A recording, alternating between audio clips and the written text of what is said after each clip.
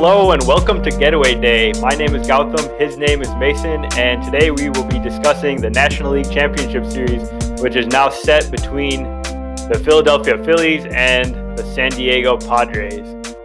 Before we get started, if you enjoy the podcast, please subscribe on your favorite podcasting app and YouTube. Hit the notification bell on YouTube to get those notifications. Make sure you don't miss any future episodes. Uh, let us know your thoughts through the YouTube comments. Leave it review on Apple Podcasts or on Twitter and Facebook at Getaway Day Pod. It's really cold, Mason. How are you doing today?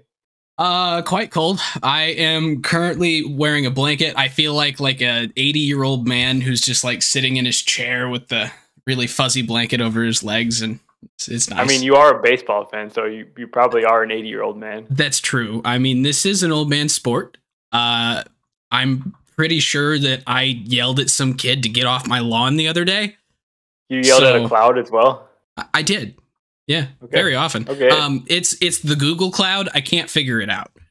I just yeah, want no my can. I just want my data. But oh well.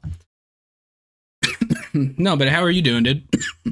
I am doing good. Uh, excited for the game five between the Guardians and the Yankees that might start at some point tonight. They're currently in a rain delay in New York, but I assume they're going to play that game tonight and um, should be good. And the Astros might go to sleep, but I might not. Who knows? So I vote that you and I go and install a roof on Yankee Stadium tonight. And then they can play? Exactly. Uh, if that... we if we do that for them, I bet you they would name the roof after us. This yeah, is the getaway I'm, day roof. I'm on board. Yeah. That sounds great. Love it. Uh, we're going to have to make it retractable though. Cuz otherwise it's not a real roof. So, right. yeah, clearly. All right, but we're not here to talk about the American League games tonight. We're here to talk about the National League Championship Series. Yes, we are, and it's the Phillies and the Padres. No one really saw this one coming, um, even like a few weeks ago. I feel like of all the combinations it could have been, this is one of the most unlikely situations. With now the Dodgers and the Braves out of it, those were the, clearly the favorites, and then other good teams like the Mets and the Cardinals are out of it. I think pretty much everyone had all four of those teams ahead of the Phillies and the Padres going into this playoff situation. They're the five and the six seed. Um, but you know, I'm here for it. The fact that these teams, um, it, we're we're kind of going to go into some of their history, their recent history, their franchise history. Just talking about how troubled these two fan bases have been and how unsuccessful these teams have kind of been over their histories, really. Uh, now one of them is going to be playing in the World Series in about a week and a half. Um, I guess. Do you want to start with the Phillies? Do you want to start with the Padres? Where do you want to go? So I kind of want to start with the Padres. Um, so this Padres team is uh, well. So the Padres franchise uh, came to be in 1969 when the the league expanded. We kind of came into uh, what's known as the divisional era. So instead of having just the the team that led the league play in the World Series. This is the first time that we had two divisions, um, and then the uh, winners of those divisions would face off, and the winner of that face off would go to the World Series. In that time span, the San Diego Padres team has been what's the nice way to say it? God awful. They have been god awful. Uh, they have 17 winning series since 1960 or uh, winning seasons, sorry, since 1969. That is it. That's including this year. 17. Um, they have only made the World Series twice, and they have never made the championship series outside of the two years that they went to the World Series. So this is a team that has not really had a ton of success. Um, at all, let alone in the postseason. Um, so the Padres making it to this championship series this year is a huge, huge deal for this team. Um, and yeah, I guess I'll I'll let you interject here if you've got anything to say. But I was going to start going on a tangent. Yeah, just to add on to their miserable history, um, from their first season in 1969 all the way up to 1983, they finished fourth, fifth, or sixth in their division every single year, and most of that those years it was sixth or fifth. So kind of just like bottom dwellers um, as they as they got started as a franchise. Uh, they did have one great year in 1984 where they came very close, um, well closer than they've ever come at any other time because they actually made it to the World Series and lost. Who did they lose the World Series to in 1984? Uh, 84? That is a good question. Tigers. Uh, yep. Okay. And and they did manage to get a win in that series, by the way. Okay. Yeah. Um, yeah, and those those are the Tony Gwynn years. Obviously, Tony Gwynn's probably one of the greatest players, if not the greatest player in their history. Yeah, Um, I think between Dave Winfield and, and Tony Gwynn, those are the two greatest in their history. And I think both were on that team, weren't they? uh, that sounds right. Uh, Steve Garvey, Graig Nettles, Gary Templeton. So no, they were not both on that team. That was the Goose Gossage Padres too. Yeah. So so that's like a good point about the Padres that they haven't had a whole lot of superstar players in their in their history. They've had a lot of players that were kind of on the downside of their careers. They get guys that were stars on other teams and then they come to the Padres and they just are not quite the same. Yeah, it's actually really interesting. If you go to Petco Park, um, so the Western Metal Supply building is there kind of at the corner in left field. Uh, the foul pole is the corner of the building. Well, outside of the, uh, like on the, uh, what do you call it? Not the pavilion, the, the concourse uh, out there is the Padres Hall of Fame. And so they've got the three pedestals for Trevor Hoffman, Tony Gwynn, and Dave Winfield, the three um, guys who basically made their name as Padres. And then they have a wall of all the Hall of Famers who played at some point in San Diego, um, including when San Diego was a AAA team. So uh, they've got like, what? It's like 25 plaques. But They have a whole bunch of the the Cleveland players, right? Because they used to be the affiliate for Cleveland Yep. back then. Yep. So they've got a ton of Cleveland players, but then really the only three players that were Hall of Famers in their careers with Padres are Hoffman, Winfield, and Gwynn. Like they've got a thing for Ozzie Smith. They've got a thing for um, Dave Winfield. Dave Winfield was actually their Hall of Famer, though, right? Uh, yeah, but didn't he play for the Yankees? And I don't know who he played for for longer, but but I don't know. It's just it's it's weird because like they it's a team that really wants to have a storied history. Yet a lot of their storied history is kind of reaching out and saying, "Hey, we had this guy for a little bit. We had that guy for a little bit." And I kind of think this might be the start of kind of an era of the Padres where they could almost say, "This was our team. These were our players. We were good." And so that's kind of what they're what they're searching for in this postseason with guys like Machado, guys like uh, he's not on the team this year, and it was announced he's getting his third surgery uh, of the season. But Fernando Tatis Jr., um, some of these guys that um, maybe haven't spent their entire careers as a Padre, but this isn't the downside of a lot of these careers. Like Manny Machado signed a what nine year, three hundred million dollar deal three years ago. uh, yeah, he, it, Is it before 20 2019. So so the this is his fourth season. It was a 10 year deal. Ten year deal. Okay. Um. Yeah. So a ten year, three hundred million dollar deal in 2019 ru- is he was 26 years old. So this is the prime Manny Machado that we're seeing right now. If this Padres team can go on and keep building success, he's one of those guys that would be their Hall of Famer. You've got guys like Tatis that's kind of the same way. Um, and I don't know. It just it feels like this is a team that they can be proud of.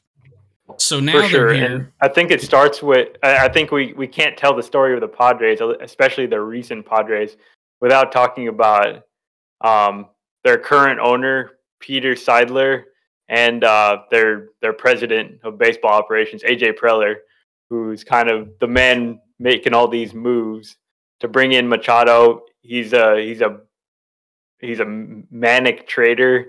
Um, and he's incredibly aggressive in all the moves. And then that that only can happen because the Padres owner is willing to spend a lot more than a lot of other teams would, especially being in a smaller market than um, a lot of a lot of teams. Like they're they're not exactly like a, a huge market from a from a media perspective, but they do have that ability to spend, and they've shown it in the recent years. Yeah, uh, especially right when Preller came in. Um, in let's see, he took over in 2014, right? The offseason of 14, 15. Yeah, and he went crazy, right? Yep. So that offseason, he went he went out and got um, Matt Kemp, uh, Wil Myers, um, sorry, I was looking at some of the guys that went back, and one of uh, a couple of them kind of Yeah, the tra- trading Trea Turner. Yeah, yeah, Trea Turner, Yasmani Grandal, Zach Eflin, like they gave up a lot of good guys. Um, yeah, let's see. So they got Wil Myers, they got uh, Derek Norris, which wasn't a huge one. they Justin- signed James Shields. They signed James Shields. They got They Justin Craig Upton. Kimbrel. Um, they traded away Max Fried, Jace Peterson, Mallex Smith, and Dustin Peterson, um, all for Justin Upton. Uh, they acquired Will uh, Will Middlebrooks, got Shawn Kelley, got Brandon Maurer, got Craig Kimbrel and BJ Upton, um, and Matt Wisler, all in one offseason. That is all one offseason to start a career as a GM with the Padres. and that didn't work out at all. We might no, it did not. They blew it up about No. halfway through the season. right. So that things have changed like a whole lot since Preller take, took over, but he's always been kind of the guy that's um, not he's not afraid to do anything that he does. He's not like doing making any half measures really, and he's the best at building a farm system. And that's kind of how the um, the Padres have built this current squad, both through guys that have come up through their system and guys that they've like traded away to bring in other guys. Like this offseason when they brought in Juan Soto, they used one of their they used a whole bunch of their really good prospects to bring in um, superstar talent. Yeah, because Mackenzie Gore and CJ Abrams were top 20 prospects in the majors, I believe. Not to mention the other guys that went back too, right? Oh, yeah. really young pitcher and James Wood, and it was one of the it was- biggest prospect packages in the history of trading. Yeah. And then um and then you fast forward like one off season or one season really. And he went out, changed everything again. Got uh Jose Pirela, Anil De Los Santos, Manuel Margot, uh Drew Pomeranz, Jose Torres, Luis Perdomo, Christian Bethancourt. Um during that next season, is kind of the first of the big moves that kind of put this team where they are today. And that is trading away big game James Shields for uh, reliever Erik Johnson and a prospect uh, infielder uh, who you may or may not have heard of, Fernando no name. Tatis Jr. Yeah. So, son of Fernando Tatis, who is the only guy to hit two grand slams in the same inning at Dodger Stadium wearing a Cardinals jersey. We'll see if this junior kid pans out. But yeah, but uh, I don't know. It, it, it kind of seems like that 2016 season and the trades at the deadline is kind of kind of what got us here because in that same season um, they got Chris Paddack who i mean is no longer with the team but kind of helped them get to the point where they started competing. Um, they traded away Melvin Upton and got Hansel Rodriguez. That one was eh. Uh, but then they got Josh Naylor, Luis Castillo, Jared Cosart, and Carter Capps, all for Andrew Cashner, um, Guerrero, Colin Rea, which they then traded Josh Naylor and Luis Castillo. Wait, Josh Naylor came from the Marlins? Yep. Oh, so I remember that. Uh, this is kind of exactly what you were talking about, though, with the um, with him just going out and basically buying and selling and trading and getting all these prospects and like all of these really big players in 2022 that are not associated with the Padres have been through the Padres. Yeah. So even going back to that first offseason, right? It's not like AJ Preller didn't know that Trea Turner and Max Fried were going to be like good to great players, but he was willing to take that risk and, yeah. and go do that. Yeah, and kind of same with Yasmani Grandal. Right. Um, so yeah, this is just it's it's crazy. And then now, who are they sporting on this team? Like, I should be able to just list their team off the top of my head, but um, like we've got Manny Machado, we've got now Juan Soto out in the outfield, two big guys that Preller brought in. Um, you've got guys that came up kind of through the. I don't think he was a draft. Well, Where he- did he get Cronenworth? he brought he brought most of these guys in through trade. So Cronenworth and uh, Blake Snell, I think, came in the same trade from the Rays. Um, Josh Bell and uh, Soto from the Nationals. Machado was a free agent signing. Profar, free agent signing. Um, uh, Hassan Kim, free agent signing. Brandon Drury this year in a trade. Trent Grisham in a trade. Austin Nola in a trade. Um, Alfaro, Campusano, like all these guys come in trades. Um, Wil Myers, I think, was one of his first acquisitions, right? So, uh, yes, he was one of his first ac- acquisitions. Uh, there is, there are two people on this current team that were drafted by the Padres, and one of them you Okay. actually just listed as a trade Oh, guy, but sorry. it wasn't. Louis- Campusano, right? Luis Campusano was a second round pick in 2017 by AJ Preller. And then um uh where'd the other one go? Where'd Steven the other one? Steven Wilson, eighth round Okay. draft pick reliever in 2018. Those were the only two guys that Preller has actually drafted. Every other player that makes up this team was a free agent or a trade or a guy that they got out of um, Japan, uh, such as Pierce Johnson. Um, you had Has- or Kim Ha-seong from purchased from the KBO. Like he's the Jerry Dipoto of the National League. That's what this guy is. Yep. It's almost like they're friends. Yeah. they are friends. Is- Wasn't Dipoto They were like roommates or something. for some reason I thought before where was Dipoto before he was in uh, Seattle? He was with the Angels. Oh, okay, that's what it was. Yeah. Wait, the Padres had Emmanuel Clase? What? Yeah, acquired catcher When? Brett Nicholas from the Rangers for Emmanuel Clase in 2017-18 offseason. I was not aware. I wasn't either. I mean, you're gonna tell me like half the players in the league were somehow on the Padres in the last ten years, and I'd kind of believe you with the amount of moods this guy's made. Oh, let's see. Who's another guy that I could surprise you with? Um Rowan Wick, which you probably knew. I did know that. Uh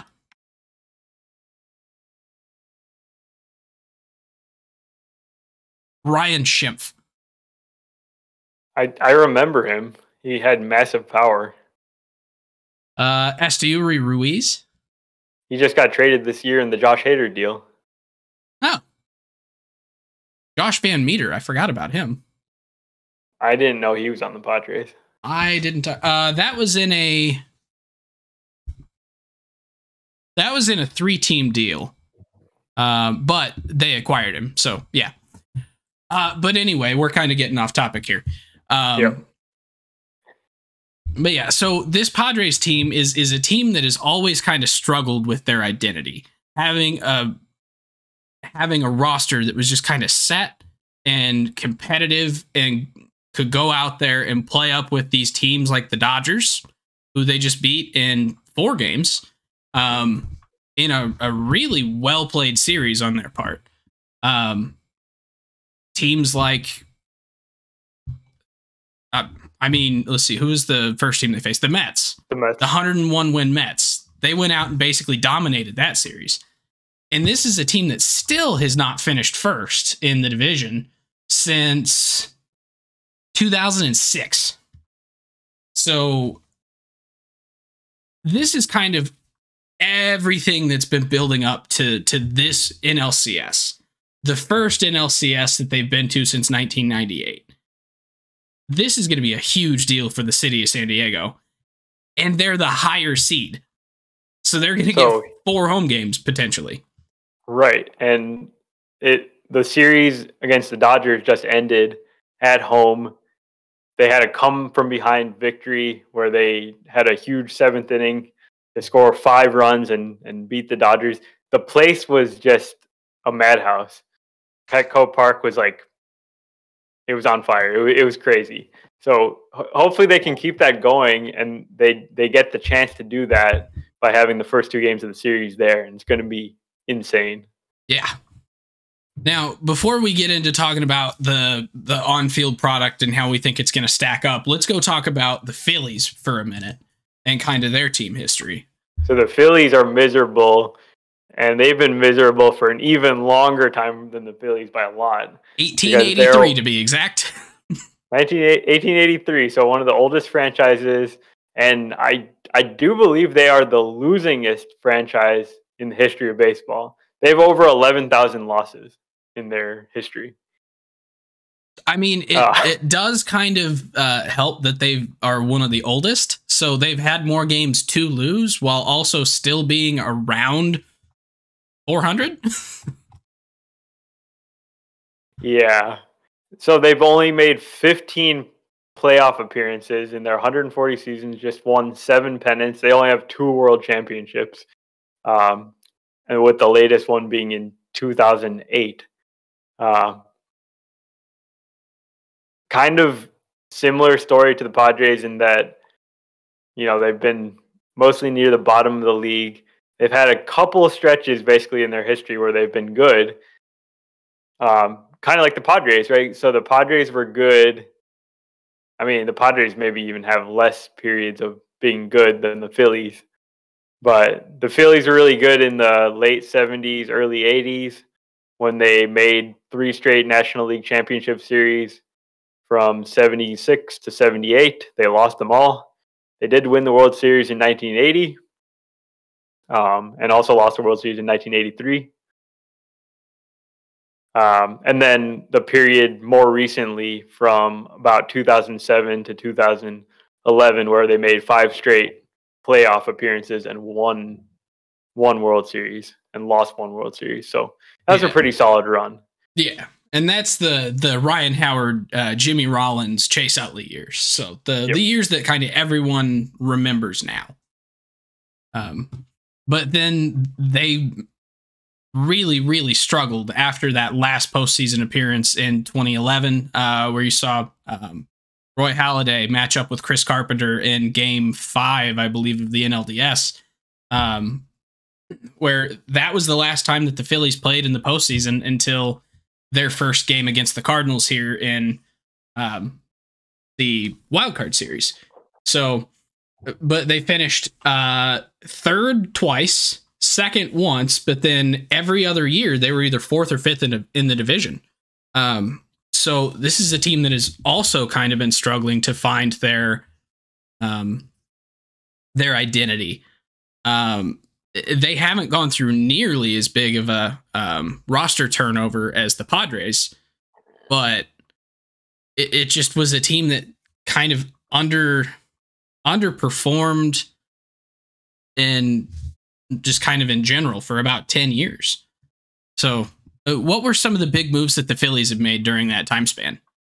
Because I well, know some of the. I mean, I'll talk about the positive moves first because they actually have in the recent years made some really good free agent signings, like Bryce Harper in 2019, who's yep. their superstar leader of the team. Which was they also brought in 13 year, 330 million dollar deal. Yeah, I think so. And then they brought in Zack Wheeler in. Would have been last year, I think, right? Was it just last year? Yeah, must have been. Or it might have been 2020. I can't remember. Yeah, it was 2020. So yeah, brought in Zack Wheeler, who's one of their top starting pitchers right now. Um, you know, extensions for Aaron Nola, um, and then trading for JT Realmuto and extending him. those are all really solid moves, and that's part of the reason why they're they are where they are now. But kind of in that stretch from the last time they made the playoffs in 2011 to now, the problems have been um, like their bullpen, which has just been some basically like the worst bullpen in the history of baseball uh, for some of those years. W- one of those years in specific, I can't remember which one. Uh, and, th- and, then they just never seemed like they had the secondary pieces to back up the the star players. And there would always just be stuff that would be going wrong for the Phillies, and um, they always had high expectations. It seemed like, and never never were able to track down, you know, the Braves and and whatever other teams in that division that they were chasing. Yeah. Uh, so, but this Phillies team now is kind of built a lot different, and and I think that's probably thanks to Dave Dombrowski, who came in as the GM. Was it this offseason or was it last offseason? I think it was last year. Yeah, and Dave Dombrowski, if you know anything about that man, uh, he's the guy who basically built the Tigers team that went to the World Series in 2006. Um, he's the guy who built the Red Sox teams that went to the World Series in 2007, 2013, something else. Uh, but he's all about big moves, spending a lot of money, going and getting these big free agents, these big trades. Um, and, and he hates prospects. He's not afraid to trade them away. And he hates prospects. And so he comes in and he goes and gets Kyle Schwarber. He goes and gets Nick Castellanos. He goes and gets um uh shoot, who was the other one? Uh, I thought there was another big one this this year. Was there not? Um I'm not thinking of it right now, but I'm sure it'll but, come to me. But then he went out and started trying to get some uh guys to help uh, bolster this bullpen. Brad Hand this year, even though Brad Hand is not really the same guy that he was with Cleveland, like that's still a big improvement over some of the uh, bullpens. Hey, Brad Hand, another guy that was that was on the Phillies. I yeah, mean, not was on the, the Padres. Padres. Sorry. yeah. I mean, uh, half their bullpen was on the Padres. I mean, Zach Eflin was a Padre. Brad Hand was a Padre. What? Yeah. Zach um, Eflin. Yeah. He was a Padre? He was. Uh, he was in that 2014 15 offseason trades. He never pitched for the Padres, so I, I didn't know. Uh, let's see. He was part of the. He went with Yasmani Grandal and Kyle Wieland uh, for Matt Kemp and Tim uh, for Federowicz. Federowicz. So. But yeah, so uh, but this team is is significantly different from the standpoint that they've still got their big guys, their JT, their Bryce, their um, Zack Wheeler, their Aaron Nola, but then the other guys that are being put around them are guys like Kyle Schwarber, guys who have a lot of pop, and they're not good defensively in the outfield. So that, in my opinion, is a bit of a problem. But they got if Brandon the Marsh. Phillies end up winning the World Series, like the fact that they're going to do it with this defense that everyone's just been talking about basically the entire year since they signed Castellanos and Schwarber, that would be kind of amazing for Dombrowski. The fact that he actually did it and he executed it and it worked. Yep. And and this is a, a defense that is sporting Alec Bohm at third base too. Like at the beginning Yikes. of the season, he was awful. He's yeah. he's improved over the course of the season. Don't get me wrong. But he's still he's still not good. Yeah. But so this is going to be really impressive if they can do this. Um, now, this is a franchise that, while they have definitely had their ups and downs, and they've had a lot of downs recently, they're still not quite as historically um, uh, historically lacking for success as the Padres because I mean they do have a World Series as recently as 2008. So, uh, but going a full 10 years without the postseason in the city of Philadelphia, that's a pretty big deal. I mean, you see how Eagles fans are. They're kind of freaking out right now. They're like 6 and 0. Yeah. And Phillies fans are equally freaking out because they're usually the same people. Um, yeah. But this is a crazy, crazy matchup between two teams that have just been so historically underperforming um, and historically unsuccessful that really no no matter who wins, this is a big deal. Uh huh. Yeah, and I was talking about the the kind of atmosphere at Petco Park that we're going to see in games one and two, and then maybe later in the series. But those middle games in Philadelphia are going to be something else. Games three, four, and five. That could that feels like the Phillies could really use those games to their advantage and, and just feed off the crowd like they were doing in the series against the Braves when they hit a couple three run bombs and, and the place erupted and I felt like the they couldn't lose at that point. I, I'm not sure if I actually believe in momentum or anything like that, but um, it was it was cool. It was cool to watch, and I think we're going to see a lot of exciting moments in this series, probably on both sides, because uh, they're exciting teams, and and their fans are very excited. Yeah, and it, it's going to be kind of fun too, because it's it's really beautiful ballparks that don't really necessarily get showcased in prime time all that often either. Because like you and I have been to San Diego a bunch of times now. Hands down, my favorite stadium I've ever been to. Uh, Philly is a bit newer. It's a bit more like Busch Stadium, where maybe it's not as unique, but it's still a really beautiful stadium. And neither one of these have got to host like a prime time huge series in a while. Like, yeah, you yeah, get is... Dodgers Padres games, but they're at like 10 at night for me. So, eh.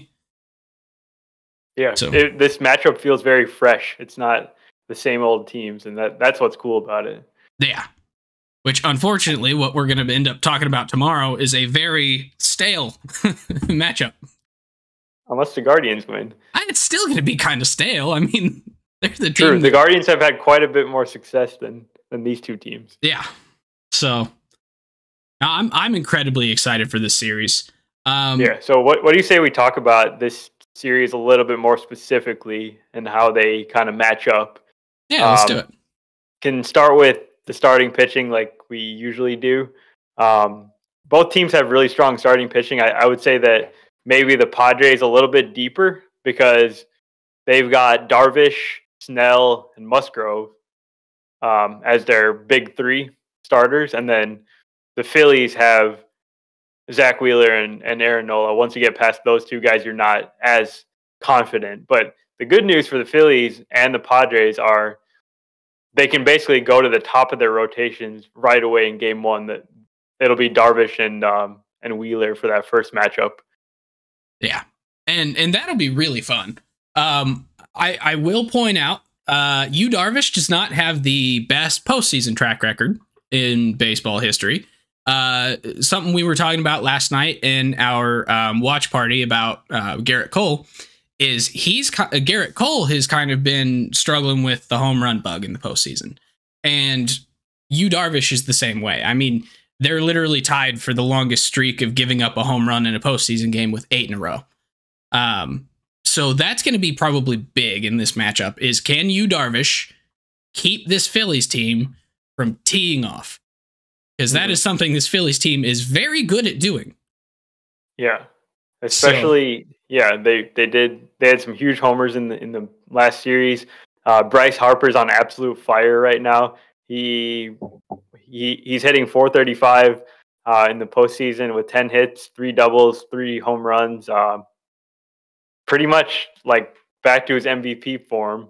Um, So he, he's like the main guy that that the Padres pitchers need to watch out for. But obviously they've got a they've got a whole host of other guys that can hit the long ball as well. So that's always something to keep an eye on in these in these postseason series. But on the Philly side, for their pitchers, their two guys, uh, Wheeler and Nola, will be able to go um, four of the first six games. Right, they'll be able to basically pitch game one, game two, and then game five and game six. Game one, game two, then off day. There's an off day after game two, and then there's no more off days after um, game two.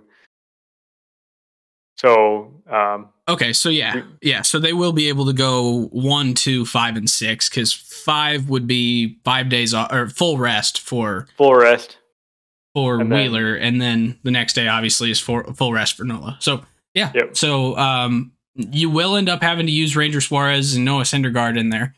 Um, mm-hmm which don't stack up as well against Joe Musgrove. And uh, who would be the other starter?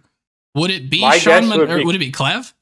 I'm guessing Clevinger because he's the guy that got the start in game one against the Dodgers when they needed the fourth starter, but he hasn't been so great and he wasn't so good in that first start. So maybe it's more like a bullpen game kind of thing for game four. And, and that's exactly what the Phillies are going to do in game four as well.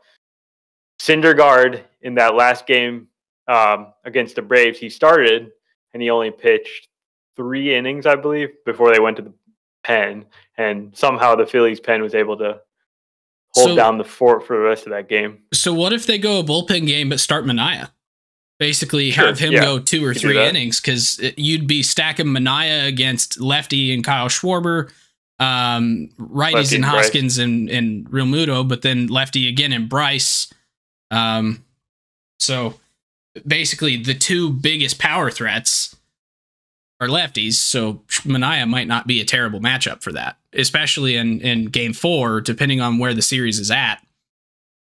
Would be a, a good move. So, yeah, that's that's an interesting thing to keep an eye on, and uh, we'll see what how the Phillies kind of or how the Padres try to counteract those um, big lefties, Schwarber and Harper, because their bullpen, they've got Hader, of course, who's a lefty, but the rest of their guys are mostly right-handed pitchers, the ones that they've been calling upon in the postseason. Uh, Robert Suarez, Luis Garcia, um, Steven Wilson.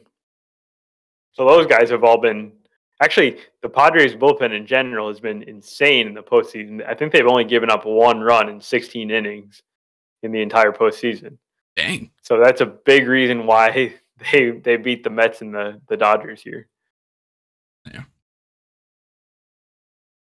So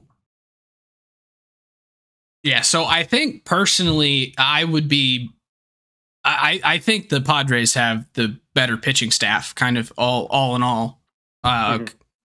but I don't know that it's necessarily that big of a difference in this series. Like like the the top end guys for the Phillies are obviously incredibly, incredibly ridiculously good. Yeah, we could say that they roughly match up with the top of the the Padres staff, right? Yeah. I think the the biggest difference between the two is that number three starter for the yeah. two teams, and then that's exactly right. And then maybe your middle bullpen guys. But otherwise, the they kind of stack up pretty well. So, yeah, I would agree with that. Um, how about how about the offenses? Would you give the edge to the Phillies, the Padres, or not? No edge, really. So I think I would give the edge to the Phillies, um, just from the standpoint of uh, power, because like we know what this team is capable of doing. We know how streaky they are as well. But this Padres team is equally streaky with their hitters, and guys like Jurickson Profar, uh, Josh Bell, Jake Cronenworth, they have not been particularly good the last couple months, and like we've seen some clutch hits from Cronenworth here in the last couple days. Um, and I, I'm not saying that those guys are bad by any means. It's just if this offense wants to compete and score a bunch of runs to help this pitcher or uh, this pitching staff, those guys are going to have to be on it. They can't rely on their seven, eight, nine hitters um, to carry the offense. I think Machado will be fine. I think Soto, he'll be on base a lot if he doesn't get a whole bunch of hits. But somewhere in that top six, the Padres are going to need to find some guys to get some hits. That's a good point about not relying on their bottom of the order because the two guys at the bottom of their order in the first two series were basically their best hitters uh, in Nola and Grisham, who, you know, they both hit over 380 um, lots of times on base. Trent Grisham has basically played as well as uh, Bryce Harper for the most part, and you, you can't really count on that to continue. I mean, maybe it does, but yeah, and, and if, it, and if it does, you need to move Trent to the top of the top of the lineup because batting him eighth, if he's the only guy hitting, you're losing out on like one plate appearance a game at least. Um, but no, but then you look over at the Phillies side and Schwarber strikes out thirty percent really of the time. He's been struggling, but like JT has an inside the park home run in the last week. Um, Bryce has been insane. Castellanos had a really, really good game one, and I think was still kind of being a factor in the next couple games, even though he didn't start out three for three with a um, whole bunch of RBIs and any of the rest of the games there. But Jean Segura has been pulling through for them. Uh, Brandon Marsh had that big three run home run. So, like, this is a Phillies team that top to bottom has had guys producing, and um, not every guy has, but at least it's a little bit more throughout the lineup production. So that's kind of why I'm giving the edge here to the Phillies on the offensive side. Yeah, I I I'm going like back and forth on this one because I can see guys like um, Soto just kind of breaking out and having a monster series. He, they, he has the capability. So does um, so does Machado. So yeah, I mean, I guess I'll give the slight edge to the Phillies, but it's it's just by hair. Yeah, and close. and I think this whole matchup is just incredibly close. I mean, these are the bottom two wildcard teams, which so they were fighting to get in. They were, I think, kind of rivaling each other to keep their their spot. Um, yeah, they were both fighting for the wild card spots. The yeah. last two, and and so I realize that's not really the best way to say that they're really evenly matched teams, but they've they've kind of had to go through the same fights, the same uh, situation just to get where they're at. So they know uh, they know how difficult it is to get here and how difficult it's going to be to keep going. And so you're going to see a lot of these guys fighting for uh, for the wins here. Like if guys are struggling, um, that they're going to do anything they can to help their teams if they can't get a hit. You're going to see a lot of the Soto shuffle if he's not hitting the ball. Um, Profar, I you're probably going to see him try and use his use his speed there. I don't know, but it, um, this will be a maybe really one one distinct edge that we can give the Padres. That's like the the biggest edge I would say defense. Yep. So Padres play really good defense. They got really good defenders in on the left side of their infield and Machado and Kim. Um, center field. Apparently, Wil Myers. Trent Grisham's a great center fielder. Um, apparently, Wil Myers can play first base if he's if that's the way he's contributing. yeah, he can make some pretty good uh, off the base catches. So yeah, um, so I guess no one's really been talking about the Phillies defense in the postseason. It, it hasn't it hasn't reared its ugly head. Maybe we see that in this series, and um, maybe that makes a difference. Now, I I will say that after the trade deadline, their defense did get better uh, because That's they brought point. in Brandon Marsh. Matt Vierling came up and he started kind of playing a bit more for him in center, and so those two are going to be platooning in center field. Edmundo Sosa comes over for the Cardinals, and he is not an amazing defender, but compared to to Bohm and sometimes Bryson Stott, and he's Didi a lot Gregorius, better. like major upgrade. Yeah, yeah. So this is a team that did improve on defense compared to when we were talking about that a lot at the beginning of the year.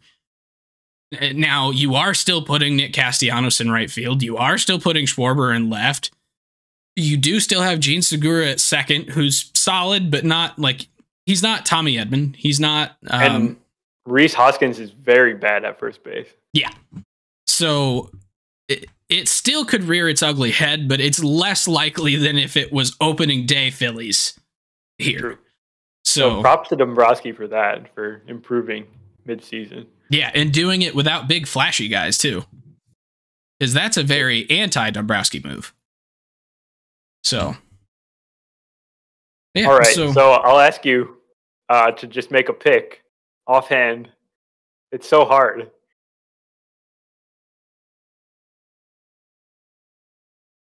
I am going to make my pick based on one guy and one guy alone, and that is the number three starter, Joe Musgrove.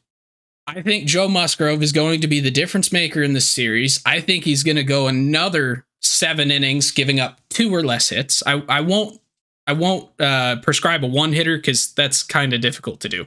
Two hits or less in seven innings in game three. That is going to be the momentum changer, and the Padres are going to win it in six. All right, Padres in six. I, I think I'm going to go with the Phillies, and I think it, the re, my main reason is just um, Nola and Wheeler. I, they've been riding those guys through the first two rounds.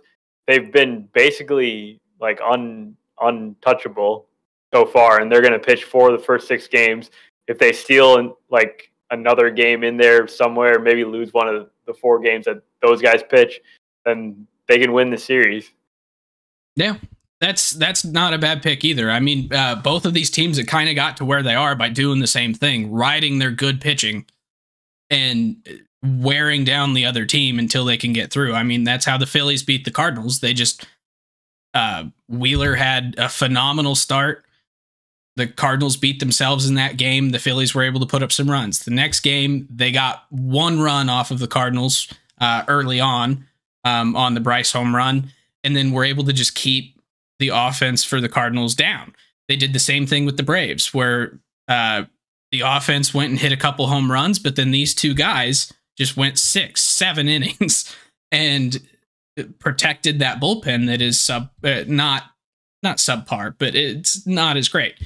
The Padres did kind of the same thing with the Mets. They were able to cont- or contain that Mets offense. They were able to contain the Dodgers offense and in the division series. Like it, it really is going to be a pitching like a, a defensive series, if you will. So, I'm excited. I'm also very excited, and this this episode has made made me even more excited. So, thank you. So Um, now I just got to decide who I actually want to win. I think the Padres because they haven't won a World Series yet. Like they're who I'm picking because I think they're maybe the better team. But I think I'm rooting for them all the way through as well. I'm rooting for them for sure, but if the Phillies win, I'm not going to be upset either. Yeah, same.